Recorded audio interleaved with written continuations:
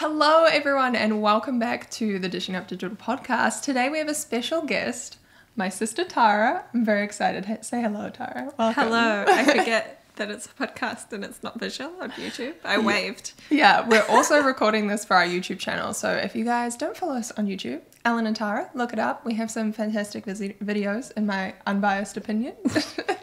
but today we're we're kind of we're going to be talking about finding your passion in life. And when it came to me starting this podcast, I knew that I wanted to include some really inspiring like interviews and things. And the first person I thought of interviewing was my big sister, and I probably embarrassed you by saying that, but um, I think it's very natural as a little sister to always be looking up to your big sister, you know, in a sense. You know, you're five years older than me, very intelligent, very beautiful. I love you so much. Oh my And- God, it's so good. this is really cheesy. I was going to make a joke about you don't always look up to me because eventually you got taller than me in height. So cute.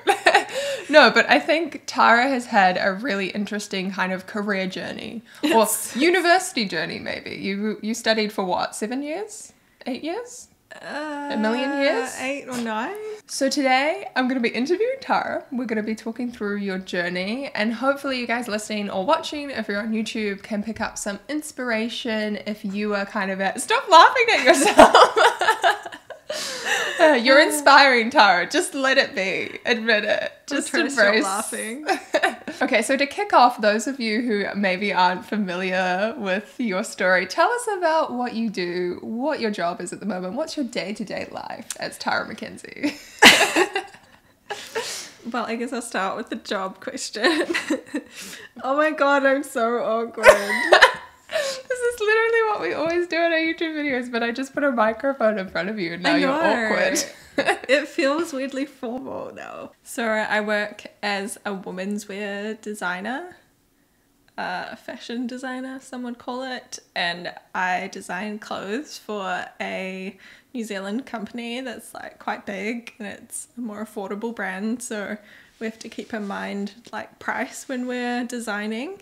Um, and we design it from like concept to a sample to colors to trims to like print and pattern that goes onto the garment. you're quite like hands on in the design process. Like I think that's the really cool thing about your job, and I think something you probably didn't expect when you graduated to go in and be like really part of the design process. Yeah, I guess I probably didn't expect to get to do it straight away. I feel like a lot of I, I got really lucky in the role that I'm in that I kind of had time to come in as a junior and do the more junior tasks like take like screenshotting stuff for other people and organizing things and cutting out Pantones and then very quickly it's like departments moved around and I got to design stuff and then got to design more stuff. So yeah, a lot of people, like a lot of new grads, will be picking up pins off the floor and like cleaning and Not stuff to like discourage going anyone to who wants to be a fashion designer. But Well, it's just yeah. I guess I did have like a period of doing that more junior stuff, but yeah, quickly got lucky enough to do more. so now the plot twist to Tara's career journey. What were you doing five years ago?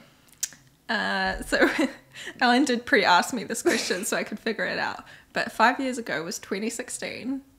This time of year, I'd finished my thesis in nutrition and dietetics. It was about health star ratings. I went to supermarkets and measured shelves. so different. And then I'd submitted that, and in the like interim period of trying to find a job as a dietitian, again very different i was working as a marketing slash website slash designer at an electrical company Again, through like very a family different. connection So at what point did you decide to do the 180 and be like, actually, I'm not all about the science and nutrition life anymore. I'm going to become a fashion designer. What point did that sort of happen? i feel like it happened quite quickly but also if i think back it's probably like a 10 year kind of build up to it but in 2016 i went for like an interview at a hospital for a dietetics position and we were doing the interview and i was really nervous about the nutrition stuff because that's what they knew about So my answers were like a little bit more nervous. And then they'd ask me a few questions about like my blog and fashion and stuff. And I'd just go blah, blah, blah, blah because I felt like I was the expert, I guess, in that You felt situation. I felt more confident about it. But the way they took it was, oh, you seem more passionate about blogging and fashion than dietetics. And I was like, no, no, no, no. and then a few months later, I was sitting there and I hadn't found a job yet. And I think I was watching Project Runway. And I'd like recently sewn something and I was getting all inspired to sew again. And I was watching Project Runway and there were people talking about, oh, I went to Parsons and oh, I went to hmm. FIT. And I was like, huh, I wonder if I could go to fashion school. I thought, I've been thinking about like what I could retrain in because the dietetics thing wasn't really working out in terms of careers because there were so many graduates and not many roles. And that one kind of just stuck and I sat with it for a few days and was like, I think I want to I think I want to change careers. I haven't even started this one, but I want to change. Did you think at that point like, nah, I'm being crazy, or like that's Of too course. different? Because it is like so parallel, opposite worlds. Yeah, I didn't really tell anyone. And I was like, I think I told you, even maybe even after I'd submitted my portfolio, and was like, oh, You told me when you were working on your portfolio, her portfolio Okay. to go to RMIT, where Yeah. she studied.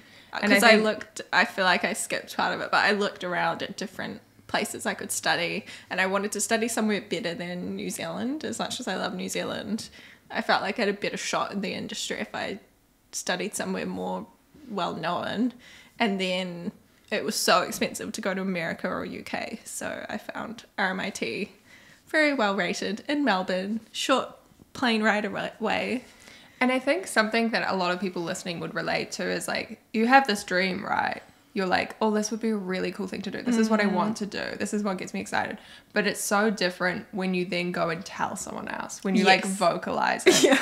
How terrifying was that process of telling me, telling my our parents? I I didn't tell our parents until after I got accepted, and I was pretty much going.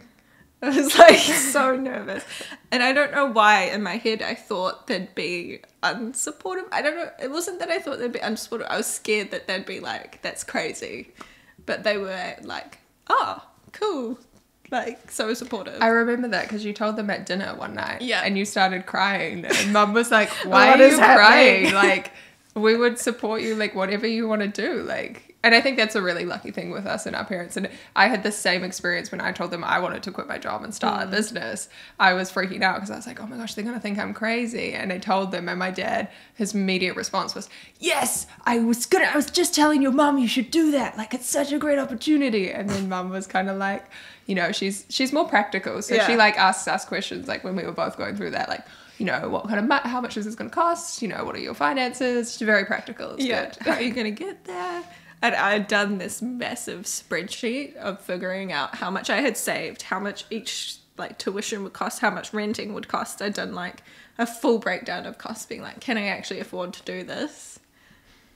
And yeah, Because that's the other really interesting thing about you and changing your career and going and restarting was it was actually like a massive like not only emotional decision but also financial because you had to mm. pay for all your uni fees you couldn't Yeah. get a loan. Yeah. you then were like moving out from living with mum and dad to mm. moving to a new country all the costs involved with that but also like moving out on your own and funding everything. Mm. Was there any point during your studying journey that you were just like i've made a mistake were there any because i know it would have been really stressful. I like i know you you know me. We, we we're not like the most like confident when it comes to money. We like to just we like to save our money. And i think that would have been a big decision for you to be like okay actually i'm, I'm gonna, gonna- spend all my savings on this.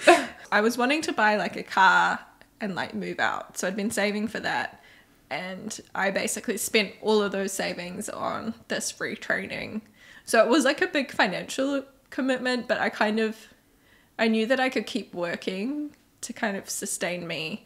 And then I was also like, you know, I believe I can if I have to when I finish, I can work in retail and like pay back my credit card debt that I'm I eventually got to build at the last semester. Mm. I kind of ran out of money, which, yeah. What was your question? No, that answers it. That's okay. I think this is a really nice thing for the listeners and the watchers to hear, though, because I know from working with my students and in my coaching programs, uh, one of the big issues for people is money, like the finance thing. They they tend to put their dreams and their passions in you know the passenger seat or like in you know second place compared to following and doing what they want like they they put that away because they think you know oh but i have to pay the bills and get a job that will like you know sustain me and my family or support me and my husband or whatever it may mm. be.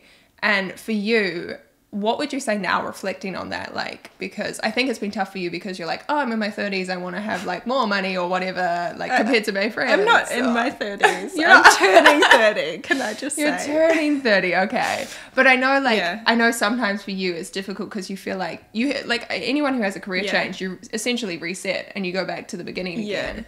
Um, is there any, when you look back on your decision now, how does it make you feel? I feel like it is a weird position to be in going into the workforce from retraining because I I am like significantly older. I guess I was a mature mature student, and you know other people that are at that career point are often quite a bit younger, and people that were my age were quite a bit further on in their careers. And then a lot of my friends are kind of further on in their careers. They've been working for five years in a field. Um, and I'm kind of like fresh in there. So it's weird being like, you know, that new grad junior stage at nearly 30. But I don't think I changed that. I feel like it was the perfect po- point of my life to do that because when I decided to retrain, I was living at home. I was hoping to move out, but I was living at home and I didn't have a mortgage. I didn't have any debt apart from my student loan from my other degrees. But in New Zealand, you pay that back gradually. Um, I didn't have any credit card debt or a, like a car payment. I didn't actually have a car. I just used my parents' car. So I was kind of in the perfect like free position to do that. I didn't have kids. I could just move countries and it would be good. I feel like looking back from this point is really weird because I didn't know if it was going to work out. I didn't even know if I would get a job in fashion because, I mean, going back to high school, maybe I'm jumping ahead from some of your future questions, but I got told not to pursue fashion because there were no jobs or it was really hard to mm. get a job. And then I was like, well, can't be as hard as getting this dietetic job that I didn't get, so I'll give it a shot. I was still fine after that. I wanted to pursue it even though it might not work out, but it did. Yeah. And I think that's the, the other interesting thing about Tara's journey was like in school, you were very much like you had the science brain, like you were really good at your science, you were into your science, but then you mm. also had that creative side and that part of you that did want to be a fashion designer. Did you feel like part of you as a teenager just pushed that thought aside because you were told and because from the research you, you did, you were like, oh, I can't make enough money in that career? Yeah. Yeah. I I did a project in year 11 with our careers counselor people. They're like, "What do you want to do?" And I was like, "I want to be a fashion designer." At that point, I didn't really want to go into science. I wanted to be a fashion designer, and we did this project, and they were like, all the research was like, "Don't do this. This is dumb, because you won't get a job." It's a very stressful industry, which yes, I, I can't say yeah, it's a stressful industry, um, and that like and that it's not very well paid unless you're at the top which yes that's also true. But i just that was just what i wanted to do and i guess i had gone on that journey of like trying to figure out what i was passionate about and yeah i i then went into later high school going well i've got to do something else. I guess i also like science.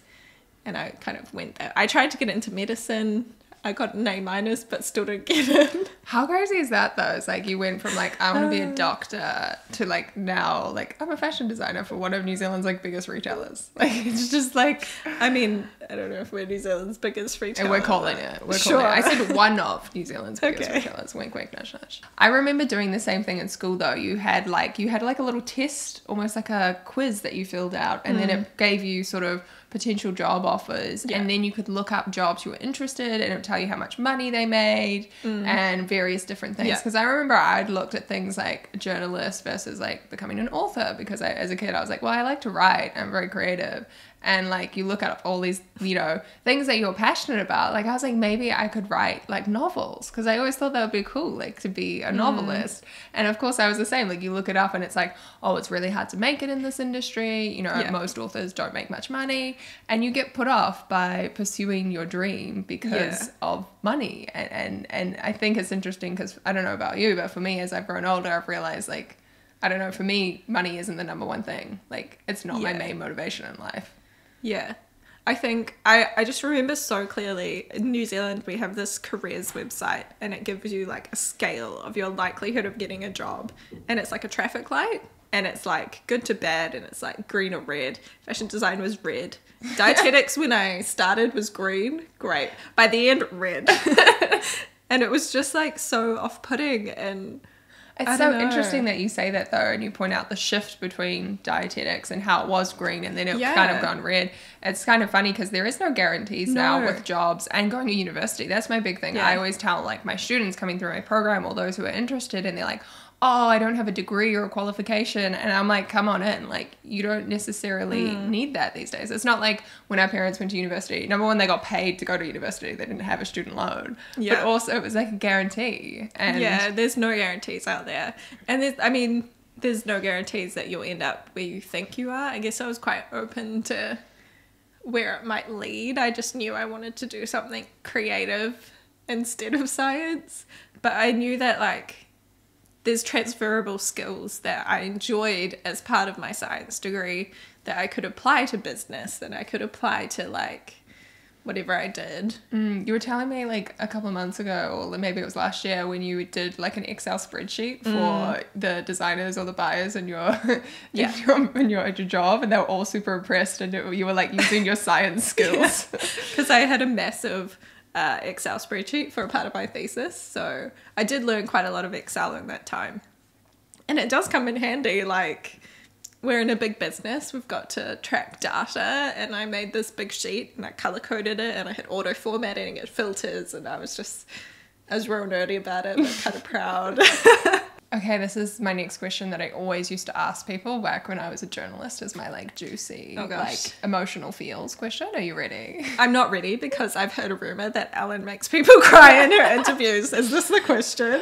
Well, this is one of the questions. Oh, gosh. Sometimes it gets people thinking. It, it definitely gets me thinking. But the question is, what would your younger self think of where you are now? So, what would like 16 year old Tara that's just been told that, you know, only this many people are successful and get jobs as a fashion designer, and you kind of had like this dream that's, you know, not going to be your your life anymore and you have mm. to choose something else. What would that Tara think of you now working at this retailer designing clothes that are actually sold in store? Like Tara has clothes that like I was talking about it with mum the other night. Mum was at work and one of the ladies, one of her colleagues mm. showed up wearing one of the shirts that Tara had designed. And, she was, like, that's look cool. at my shirt.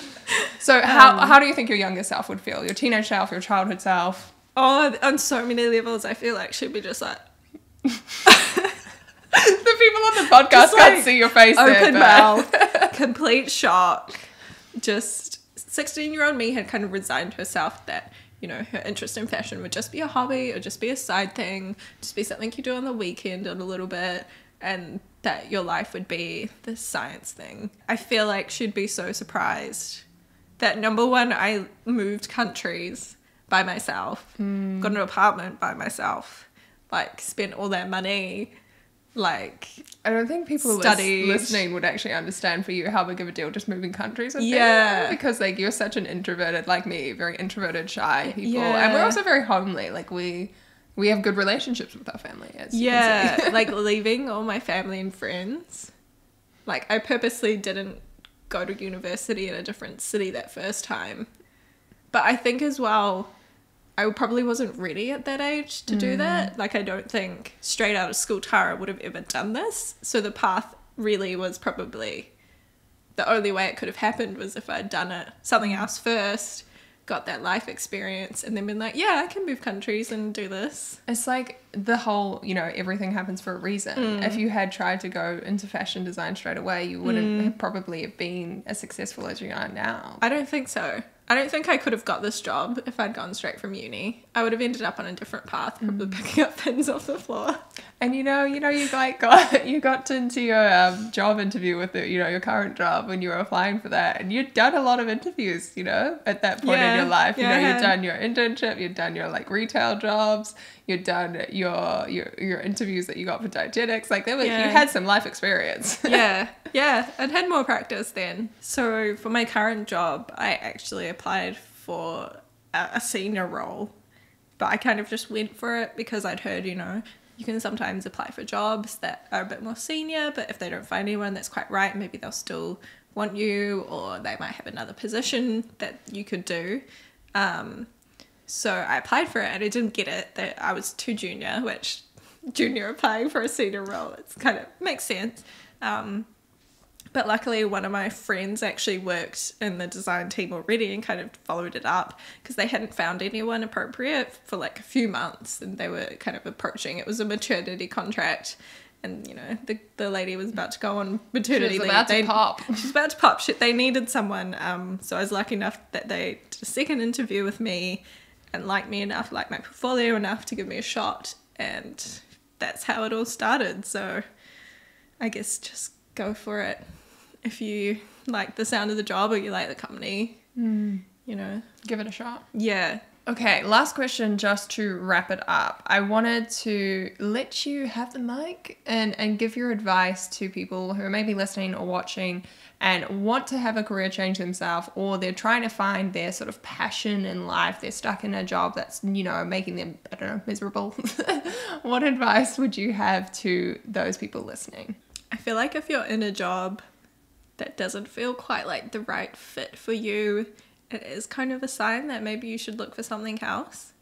But I wouldn't feel pressure to like snap and like quickly quit and completely change straight away. Like I feel like It's a process. it's a process and you kind of have to look at the things in your life that might impact on that decision like if you have children or a house or like family that you want to stay around and maybe you don't know what your hobby or your passion is yet i feel like there's so many like short courses out there or like really informative youtube videos that you can watch and kind of start it kind of as a side thing and build it up. Like I really like how Ellen did it, where she started it kind of as a part-time business to see if she liked it, to see if she could do it, and she kind of built it up from there. And when once she got to a sustainable point, you then quit your job. Mm, yeah, I think that's a really like important thing that people don't think about a lot. Is like mm. sometimes it does take time. Like Yeah. I've talked about in a previous episode, I used to call myself a serial side hustler because we had our blog.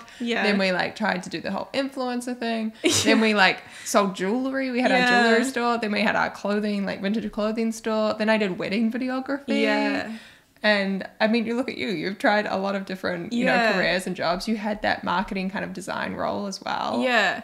I guess you kind of you do need to try a few different things and see what sticks because you you sometimes don't know what a job will be like until you give hmm. it a try or you do a short course or I guess I did like this fashion career. I did build up to it because I didn't just spend go from no I'm never doing that career and just give up like I did I taught myself pattern making and I did it from books and I watched YouTube videos and I did it as this kind of side thing. And then in our blog shop that we had, Ellen mentions, like I made some things for the shop that mm. people bought and like that was great learning. And you can do small things. It doesn't have to be a dramatic mm. quit my job. It could be like you cut back one day at work and do something on the side for a bit. Yeah, I think it's something that like the internet and Instagram kind of like dramatizes. You know, Mm. like quit your job and start your own business, and then you'll have a Lamborghini. Like, have you seen those really spammy Facebook no, those ads? are fake. Like It's not real life. It is like a process, and Yeah. it actually reminds me your, your idea of just maybe reducing your work hours and and Mm. then using you know your extra day a week. Um, a friend of mine does like accounting, and what he was doing was like slowly reducing his hours to build up his own little like accounting firm. Mm. and like his whole passion was working with charities. So his accounting firm specializes in doing accounting for charities. That's so cool. um, and like he's slowly transitioning. And that's a really nice thing to do because he's got a young family. Yes. so it, it gives you that little sense of security. You don't have to be the dramatic like i quit my job. I'm going out on my own. It can be a process and yeah. Yeah. I guess on the other flip side, if you if you don't have a family yet, you don't have a house yet, that you're like stuck in that you could sell or like if you are able to make those big moves like that's great like take up the opportunity while you have it because I guess like now that I've bought a house and I've kind of like settled in Auckland, it is a bit harder to do Mm. something like I did back five years ago. But yeah, I don't regret that at all Yeah. making that big move because it was like the perfect time. It was just like it just felt right. Yeah. you know. That's something that mum always said to I think both of us. It's like if you're gonna do anything, do it now. Like while you're you're young and you don't have those Yeah. things tying you down. But at the same time, like your friend, you know, if you've got a family, don't don't feel trapped that you mm. have to mm. stick to this one thing. There are opportunities out there to try different things. Like even a lot of jobs do have transferable skills, and you might be able to go into a slightly more junior role and still be I would- able to do that in a slightly different field Yeah. that you're interested in. If anyone listening or watching is more like less like me in that you want to start your own business and maybe more like Tara and you want to build a career and have a career change, totally go follow Rosie from Badass Careers on Instagram. Just a little shout out to her because she has really great um, tips and posts and advice about, you know, um, organizing, I guess, finding out your skills, what you're good at, and mm. how that could apply to different fields. So definitely go check her out. But I think that was kind of all my questions. Do you have any final thoughts or should we wrap it up there, Tara? I guess my final thought kind of comes back to like what Ellen was saying about like what your young, what would your younger self think, and like what what is your inner child? Like I feel mm. like you went on a journey of like listening to your inner child. And seeing what they do because that's really the the inside of yourself that gets excited about things. Like what what did they get excited about? Because maybe that's something you could pursue if you have a embracing more career of that like playfulness i think with your inner child you know like what makes your inner child like excited and Mm. what what you could have fun with. well that is the end of the episode thank you tara for being my first guest on the dishing up digital podcast uh, make sure you guys rate subscribe give the five star reviews all that stuff. I'm still not used to the podcasting world and I, all my lingo is like youtube. I'm like subscribe give this video a thumbs up. And i'm like oh no wrong thing podcast. um, but for those of you who are watching it on YouTube, thanks for tuning in. I know this is a bit of like a longer video, but if you enjoyed this more style of like chattiness, um, let us know in the comments and we can totally do more videos like this, I reckon. Mm. and watch Ellen's podcast or Yeah. listen to Ellen's See, podcast. it's hard, isn't it? Yeah, it is hard. Thanks so much, guys. I will see you in the next episode of the Dishing Up Digital podcast. Bye. Bye.